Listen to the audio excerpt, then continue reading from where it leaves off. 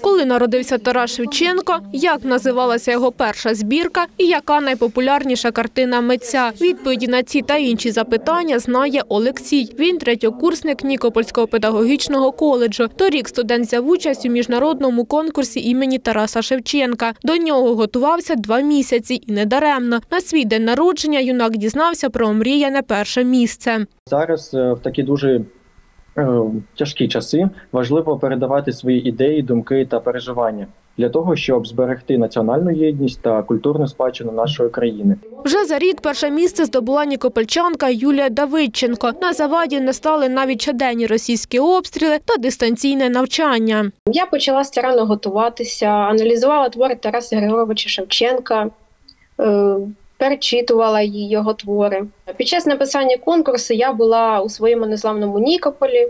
Е, Було складно, небезпечно, але я знаходилась у безпечному місці і продовжила конкурс, незваж- незважаючи ні на що. Наполегливість студентів вражає Антонію Пеливанівну. Саме вона прищеплює студентам любов до рідного. Жінка – викладачка української мови та літератури. Каже, перемога була омріяна і неочікувана, адже вже другий рік поспіль її студенти посідають перше місце. Снаряд попав другий раз в одне й те саме місце.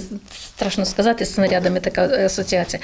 Але ось так трапило. Така, таку перемогу ми здобули. Звичайно, це кропітка, клопітка робота була перед цим. До конкурсу готувалися не один місяць, розповідає викладачка. Підготовка була така, е, це треба було знати біографію Шевченка, так досконально, такі нюанси. А що подарувала Ріпніна Шевченку там на якийсь день? А в якому році вийшов перший кобзар? А скільки екземплярів і так далі? Ми готуємося до цих олімпіад, до цих е, конкурсів. Зв'язуємося мед або зум, конференцію створили і працюємо, працюємо, працюємо ночами, вечорами, коли тільки приходиться. Загалом у коледжі понад 400 студентів. З початку Великої війни навчання ні на день не припиняється, говорить виконуюча обов'язків директора фахового педагогічного коледжу Любов Крамаренко. Попри всі виклики часу, незважаючи і всупереч, ми працюємо. Перебування, звичайно, на території активних бойових дій, е, щоденні обстріли е, психологічно впливають, але ми працюємо і тримаємо освітній фронт. Антоніна Чайко та Юрій Смірнов. Open News, телеканал відкритий.